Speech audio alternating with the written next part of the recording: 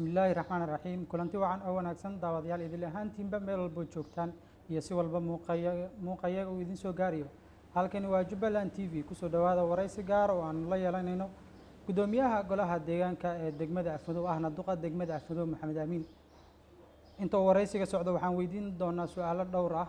Inta badan waxa ay quseeyaan ama ay ku gadaam ku gadaaman yihiin degmada afmadow iyo xaaladaheedii u dambeeyey ee soo dhawow guddoomiye dhawaada ugu horeyn guddoomiye ee, waa kuma maxamed amiin haddaad bal sifayso adeer eh, maxamed amiin waa waxaan ahay nin muddo badan siyaasadda ku soo jiray dhaqdhaqaaqyadii hore dowladihii militariga dowladdii militariga ragga soo horjeeday een, haweenkii hore s b m xogeeyihii arrimaha dibadda s b m wasiir ku-xigeenka arrimaha dibadda soomaaliya kadibna xildhibaan kadibna commission eh, hay'adda qaxootiga barakacaysa qaranka soomaaliya. Haddana ah afmadow joogo. Ee, guddoomiye markaad intaa aa sheegtay ee, dadka ay maqlaan waxaa la isweydiin karaa guddoomiyaha degmada afmadow maxamed amiin muxuu afmadow ka soo raaday isagoo siyaasadda ilaa heerkaa ka gaaray?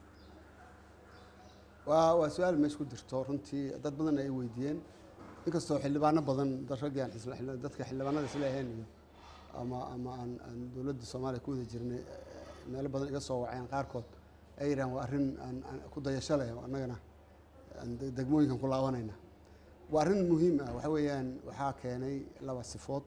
Midda koowaad waxa weeyaan degmada afmadow ahayd degmada aniga aan degmo ahaan aan ka soo jeedo ama jubbada hoose degmada labaad markii kismaayo laga reebo waxay noqotay meel dib u dhacday dib u dhac weyn baa ku dhacay. Marka laga laga soo tago dowladdii dowladihii soomaaliya ka jiray xilligoodii degmooyinka ka mid ahayd inkastoo aan mar- walbaba annagu aan dhaliil dadku sheeganayeen ahayd in xoogaa dib u dhac jiray oo aan horumar weyn loo sameynin oo ay ugu horreysay waddadii isku xiraysay kismaayo afmadow boqol iyo labaatan kilomitr oo ilaa hadda mataqaanaa dhib u ka taagan yahay oo markuu roob doo ay iska doon noqonayso iyo iyo mashaariicdii kale ee dowladdu eh, sida mataqaanaa macad waxbarasho ama jaamacad ama ilaa heer college ay mudneed afmadow runtii arday badan ay ka soo bixi jireen.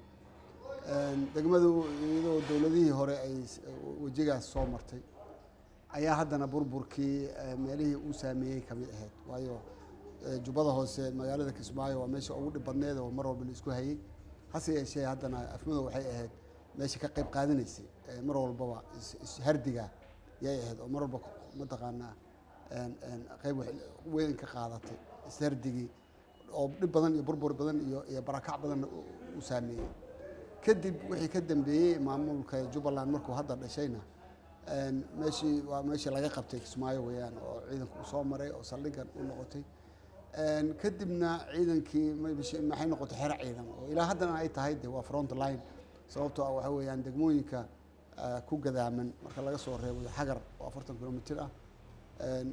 Gu-aale oo sagaashan ah iyo mareere oo oo sagaashan ah. Inta ka u dhexayso waa inta la isku haysto oo ay nimanka nabadiida mataqaana duurka ku jira iyo ciidamada jubbaland iyo- amisom ay isku hayaan. Marka waxay noqotay meel aan waxba laga qabanin runtii. Marka aan ogaaday in golo deegaan ay diyaar tahay in la dhiso ayaan waxaan is iri maxaad cid kale ugu aaminaysaa? Maad adigoo fariisatid. Oo aad afmadow waxay u baahan tahay hiilo siyaasaddu marba meelsha aad wax ka qaban kartaa laga qabtaa. Mas'uuliyaddu ma laha wax weyn iyo wax yar. Tuulana cidda wax ka qabato wax bay qabatay. Marka waxaan goostay inaan afmadow fariisto oo golaha deegaanka aan mataqaanaa musharax u noqdo oo aan degmada afmadow aan wax ka qabto isbedelkeeda aan wax ka qabto waayo de- degmada afmadow haddaan wax ka qabto jamhuuriyadda soomaaliya waxbaan ka qabtay. Waxa weeyaan meeshan soomaaliya ama wasaaradan joogi lahaa ama wakaalad ama hay'ad baan joogi lahaa dowladeed.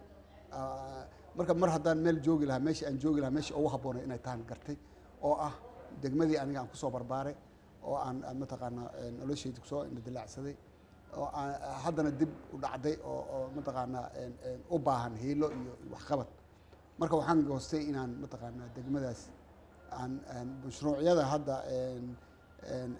golayaasha deegaamada loogu talagalay in bal sida ay ay yihiin oo loogu talagalay inay u fulaan oo aan ani- anigoo aan ka noqto mataqaanaa mas'uulkii ugu sarreeyey taasaana keentay afmadow inaan tago. Waa tahay. Intaasi waa furfurashada iyo shakhsiyadaada waxaan hadda dhex tegi doonaa degmada afmadow waxaa jiray isku day kaasoo aad ku dooneyseen in diyaarad isbuuci hal jeer ama laba jeer ay afmadow tagto. Maxaa qorshahaasi xaguu ku dambeeyey? Qorshaha ugu socda adeer waxa weeyaan diyaarada way jiraan. Diyaar u ah. Laba arrin baa jirta. Fidow kismaayo gawaarida yaryar waxaa loo raacaa. Lacag yar baa lagu raacaa. Labaatan dollar ugu badnaan ilaa shan iyo toban dollar. Inay dadku bartaan inay diyaarad raacaan oo siddeetan ama boqol ay bixiyaan.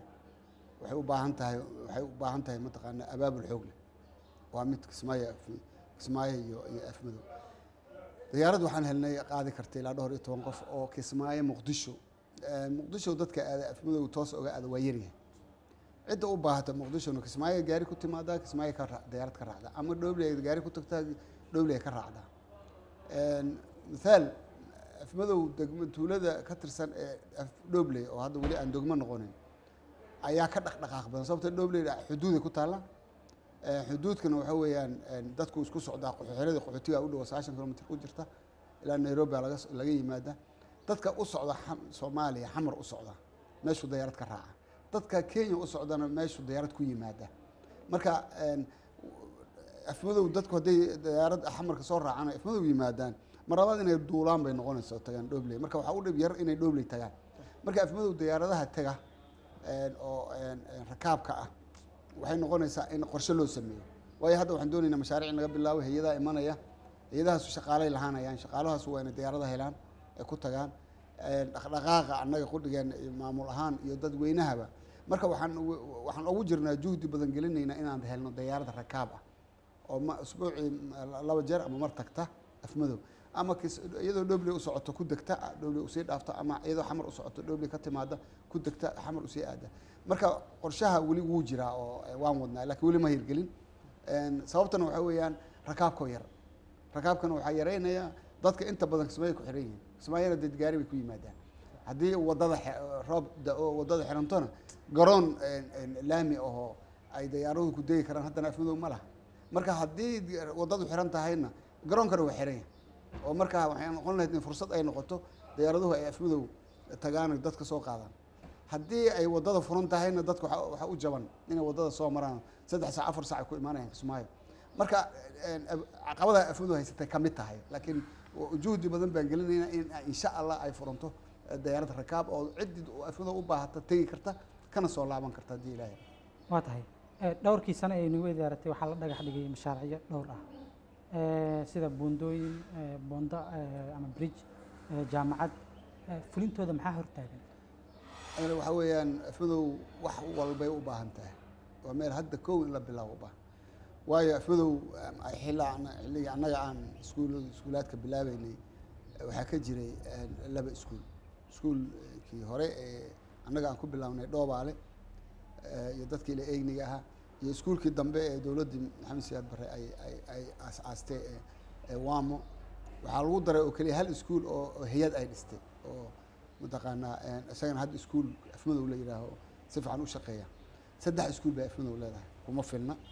Xaafad dhan oo la yidhaaho danwadaag oo lagta dhinaca kale ka ah iskuul ma laha.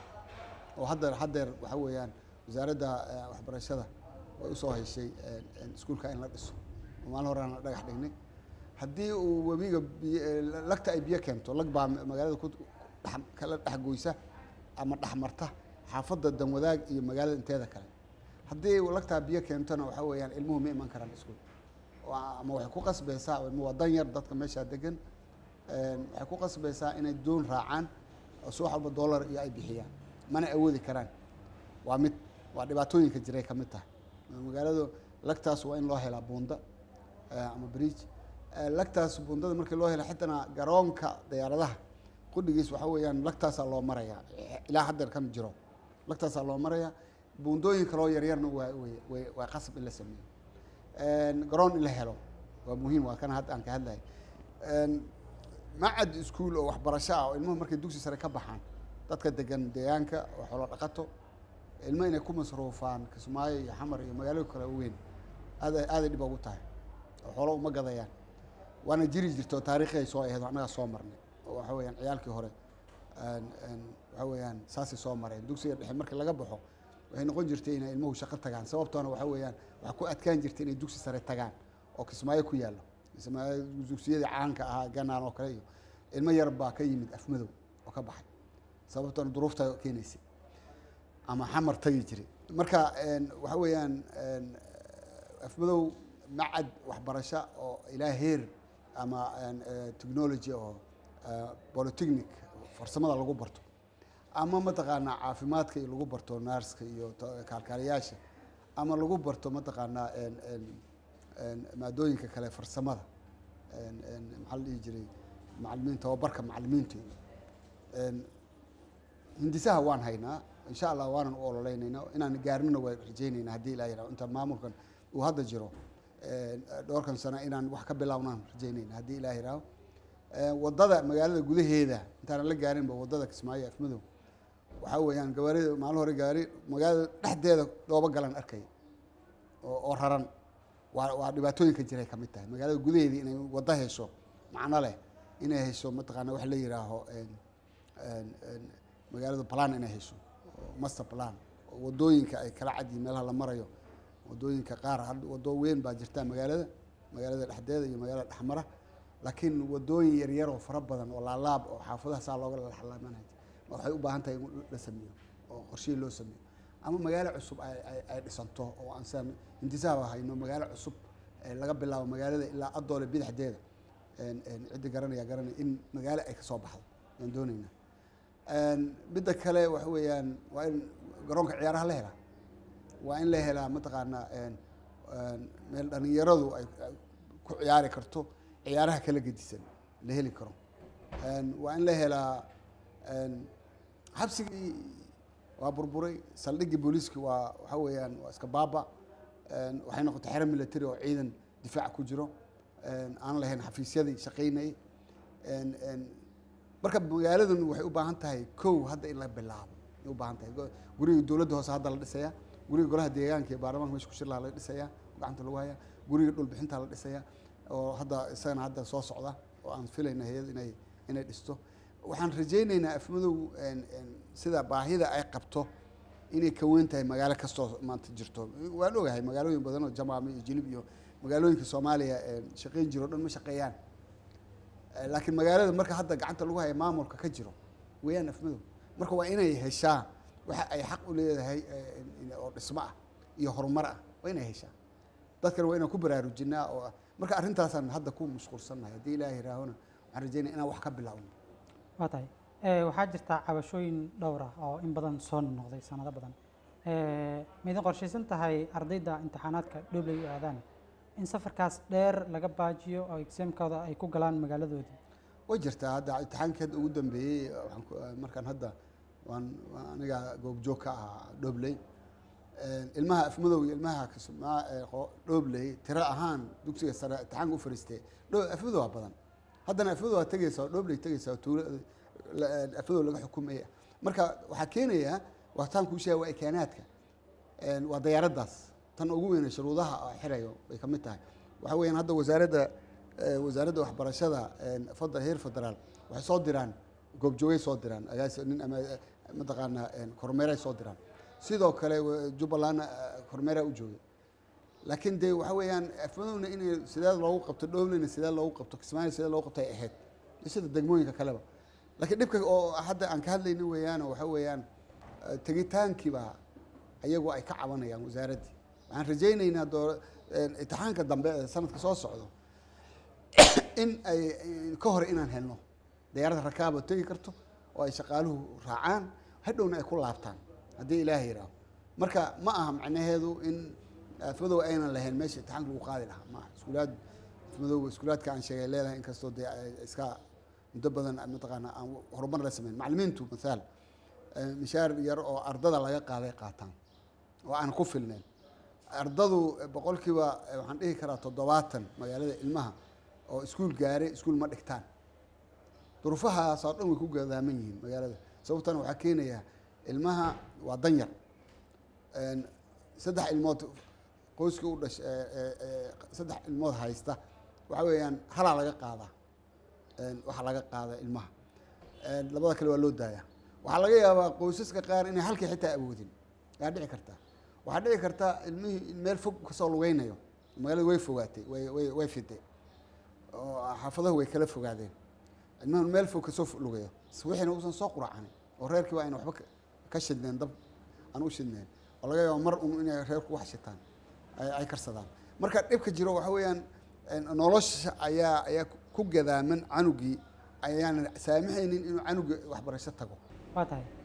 Maamuladii idinka idinka horreeyey afmadu soo maray intooda badan wuxuu waqtiga kaga lumay isqaqabsi dhexdooda ah gaar ahaan mas'uuliyiinta amniga iyo kuwa arrimaha bulshada. Idinkooda shaqayntiina waa nooce maya waxa weye la isku qabsado meesha ma yaalaan waxa weeyaan waxay dhici jirtay qolihii hore wixii suu suuqna uu jiri jiro waagaa xoolaha u joogay.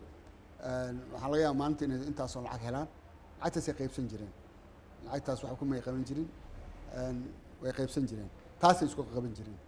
Markaad meesha waxa ma yaalaan horta dhaqaalaha la isku qabtaa moogtahay dhaqaalaha ma yaalaan wixii yimaado ama ciidanka anagu ciidankan inta badan priority siinaa saraakiisha eedaanka ciidanka. Ma ah wax kale. Oo lacag kaloo kaasho ay qaataan ma jirto. Meesha ma taalo wixii yimaado ama gaariga yimaado wixii laga qaado ciidankan siinaa oo waxaa weeyaan neefka ariga xerada koosaar ka dhigtaan iyo qudaartaa yar kama badna. Marka intaasna nin walba iimaanku ku qabaa. Marka wax isqa qabsanaya haddeer malaha dhowrkii maalin ee la soo dhaafay waxaad ku sugnayd kismaayo. Qorshayaashii aad halkan u imaatay maxaa kuu qabsoomay oo aad degmadii iyo dadkii ula noqon rabtaa? Waxa weya waxa ugu weyn aan u ololeynayna wuxuu ahaa golihii deegaanka si loo dhisay lama samaynin xafladdii caleemasaarka taasna waa madaxweynaha iyo wasiirka arrimaha gudaha iyo kulli waa isla garanay. Haddana waxaan sugaynay wafdiga madaxweyneha inay soo laabtaan. Intaanan doorashada iyo la gelin arrimaheeda in inay xafladdii dhacdo aan afwada ula tago. Yaa ugu weynaa waxaan u olanayay iyo wasiire cusub iyo golo cusubaa la dhisay oo golo wasiire ah. Iyo qudhigood dee waxa wey waa ina saameynaysaa inaan is aragno. Hadday maaliyad tahay hadday tahay mataqaanaa waxbarasho hadday tahay caafimaad hadday tahay mataqaanaa biyaha iyo howlaha golaha maxaa la dhihi jiray wasaaradda howlaha guud. Yacni wasaaradahaasu wasaaradaha inta badan wasaaradaha dowladda inta badan waxa weya hawsha aan halkaa ka wadno lug bay ku leeyihiin marka ayaga qudho inaan is aragno bal isla socono ayadana ka mid bay ahayd. Marka labada arrin baa iigu weynaa imaatinkayga haddana waxaan sugaynaa inaan inaan tagno afmado oo caleemasaarki loo diyaar garo haddii ilaah yidhaaho waa tahay. Maalmo sii horreysay degmada afmadow waxaa ku faaftay lacag been abuur ah lacagtaasi doobley iyo qooqaani iyo meelaha ku gadaaman afmadow way ka shaqeysaa. Afmadow kama shaqeyso. Maxaad ka qabateen? Maxaase idinka qorshaysan oo aad lacagtaas lacagta waan joojinay waan joojinay lacagta waxa wey lacagta xamar ay ka timid lacag gobolka ka timid ma ahayn meel waxay ka timid xamar iyo gobollo kale. Waan joojinay lacagtaasu waxa weeyaan dadka ganacsatadana waan u sheegnay cidda keento inay dambiilo tahay. Waayo dadka masaakiinta markii lacagtan looga gato lacagta shilinka soomaaliga waxa weeyaan lacagtani ma soconayso ha dhowto. Marka way ku ceerato ayagoo awalba iska ceer aha way ku sii ceer ceertoobayaan marka waan joojinay arrintaa marka waxay taagsan tahay haddii ilaah yidhaaho sidaan rabnay ku socotaa. Hadda waan u yeernay ganacsatada ciidamada amniga odayaasha arrimaha bulshada oo dhan. Waxaan nidhi lacagta ciddii lagu arko waa dambiile waana waa in la joojiyaa. Intay istaagtayna waa hadda magaalada waa caadi oo dadku way way ganacsanayaan wax dhibaatana ma laha. Maalmihii hore laakiin dhibba dhib badan bay dadku sheeganayeen. Oo cabasho badan baa jirta. Waa tahay. Baahidii dhalinyarada shaq la'aanta weli way taagan tahay dhalinyarada qaar waxay sheegaan shaqadii soo baxdo in la gacan tugaaleeyo. Maxaa uga jawaabaysaa? May adeer horta waxa weeyaan anaga hadda intaan joognay shaqo soo baxdaaba iska yar. Shaqada waxa weeye laba arrin waaye. Waa hay'adaha inay ka timaado inay maamulka ka timaado. Maamulka dhowr qof aan shaqaalaynay wasaaradahan u soo gudbinay. Annagoo eegayno mataqaanaa sida aqoonka aqoonta qofka iyo jifada uu yahayba. Tan hadda hay'adahana waxa weeyaan hay'aduhu horta ayaga qaata laakiin annaga wayna soo way noo soo bandhigaan inay mataqaanaa qaadayaan test imtixaan qaadayaan. Qofka waa inuu keenaa c v-giisa waa inuu imtixaan galaa waxyaalaha aan ku soo rognay ka tahay. Dhalinyaro hadda dhowr ahoo jaamiciyiin ahaa oo kenya wax ku soo bartay qaarkood oo jaamacadaha xama kismaayo ka baxay oo shaqo la'aan ah oo badanaa jira. Iyo qaar dugsiyo sare ka baxo fara badan oo ka badan ayaga siday u kala u kala u kala dardaran yihiin? Waayo qofka waxaa laga yaabaa markuu xaasna leeyahay carruur leeyahay shaqo la'aana yahay shahaadana haysto uu u qalmo inuu shaqadii helo. Priority baan siinaa. Marka hay'addii soo baxdo annagoo jifada haddana waa soo bax jifadii shaqadii soo baxda haddana waxaan idhahaa priority ninkaas siiya ama qofkaas siiya waa jirtaa taas. Mana aha mana aha inaan u kala eexanayno. Waxaan eegaynaa qofku inuu kow yahay inuu baahi culus reerka ka haysato nin dhalinyaro yahay aqoon leh aqoontiina u qalmo shaqadiina qaban karo isla markaasna waxa weeyaan jifooyin yahay jifada jifooyinka kala gedisan yahay. Hay'adahana iyaga qaataa inta badan laakiin way jirtaa recommendation waan samaynaa waxaan ku samaynana oo saasaan ku salaynaa waa tahay. Ugu dambeyntii afmadow waa degmo. Sharci ahaan waxaa hoos imaadaan tuulooyin badan oo ay dhoobley iyo qooqaan ay ka mid yihiin. Awooddiina maamul ma gaarsiisan tahay in aad tuulooyinkaas maamushaan qooqaani waan tegayaa maanan tegin. Ee, qorshaheenna way ku jirtaa. Maamulka qooqaanina maamulka afmadow hoos yimaadaa laakiin dhobley weli waa madax bannaan tahay. Sida kale guud ahaan dee degmaday ka mid tahay officially. Laakiin xagga maamulka een, waana meel dhaqa- dhaqaalaha leh oo xuduud weeyaan oo aada loo soo transportka gawaarida iyo dadkaba ay aada ugu socdaan. Iyo iyo ama dayarada ku yimaadaan ama dhulka ha ku- ha ka yimaadaan. Een, dabcan inta afmadow ay leedahay way leedahay suuq ay leedahay ceelal bay leedahay biyaha xoolaha ka cabaan. Waxay leedahay mataqaanaa ganacsi kaley leedahay. Marka laakiin waxaan ah, ogsoonahay in ay dowladda jubbaland doonayso inay in mataqaana golaha la geeyo golaha wasiirada iyo golaha baarlamaanka laga ansixiyo in degmo laga dhigo. Waana u qalantaa degmo. Way dhobley inay degmo noqoto marka waxay hoos imanayaa dhowr tuulo oo hadda afmadow hoos yimaada ay diif ka mid tahay taabda ka mid tahay calbule ka mid tahay een, deg elamaha ka mid dhowr tuulo adiga mataqaana aagga iyada ku taalo. Qooqaani iyo wixii ka sokeeyana afmadow ay hoos imaanay afmadow annagu mustaqbalka afmadow inay inay gobol noqotaan ka fikiraynaa waa inay noqon kartaa. Afmadow waa meesha degmooyinka ugu weyn soomaaliya ahayd uguna xoolo badan. Dhaqaale ahaan marka la yidhaho populationna leh.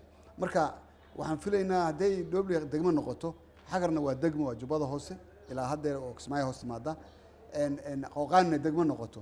Afmadow gobol ay noqonaysaa mustaqbalka saan ka fikirayna taas weeyaan haddii ilaahay yidhahdo laakiin haddeer dhobley een, maamul ahaan maadaama ay dowladda jubbaland doonayso in laga dhigo degmo laga dhigo waxba iskuma mashquulino. Iyadaa sideed u madax banaan Eh, waa tahay daawadayaal waxaa intaasi ku eg waraysiga gaarka ah oo aynu la yeelanaynay guddoomiyaha golaha deegaanka degmada afmadow. Ahna duqa degmada afmadow mudane maxamed amiin tan iyo inta aan waraysigan mid lamida ku kulmi doono oo aniga iyo bahda jubbaland t v oo uu igala joogo yaxye oo idin leh ammaano allah. Waad mahadsantahay mahadsantahay